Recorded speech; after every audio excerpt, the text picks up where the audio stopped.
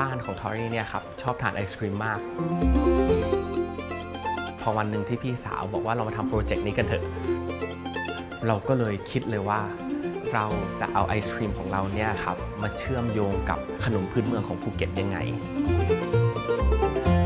คำโฮบ้านที่กลับมา